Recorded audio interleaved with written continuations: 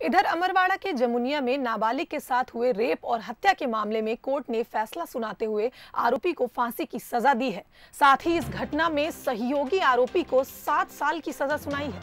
घटना जुलाई के महीने में हुई थी, जिसमें आरोपियों ने नाबालिग का अपहरण कर उसके साथ रेप किया और फिर उसकी हत्या कर लाश को बोरे में बंद कर माचा डैम में फेंक दिया था। पुलिस ने दो दिनों में ही मामले का खुलासा करते हुए जाँच की और 15 दिन के भीतर ही कोर्ट में चालान पेश किया था।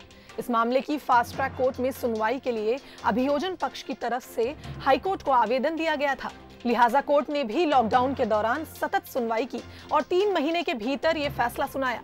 आरोपी रितेश उर्फ़ रोशन धुर्वे को फांसी की सजा सुनाई गई है और सह आरोपी धनपाल उइके को सात साल की सजा सुनाई गई है।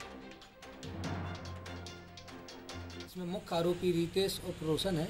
उसको तीन सौ दो में मृत्युदंड एवं पास्को एक्ट की धारा पाँच छः में मृत्युदंड की सजा दी गई। दो धाराओं में मृत्युदंड एवं एक अन्य आरोपी धनपाल है।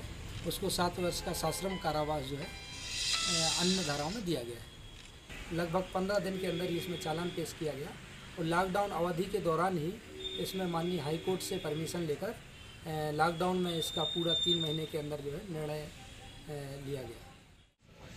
मुख्य रूप से हमने इस बात की फोकस किया कि आर, जो मृतिका थी, साढ़े तीन वर्ष की अबोध बच्ची थी और उसके पड़ोसी द्वारा इसके वैश्वासिक संबंध थे, उसके गला घोट, गले में चुन्नी बाँध थी। मुँह चुन्नी बाँध के उसके अंदर बलात्कार किया गया था?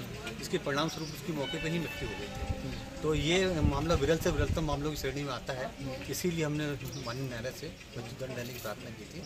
और इस बात के और बहुत समय सीमा पर ये फैसला आया है।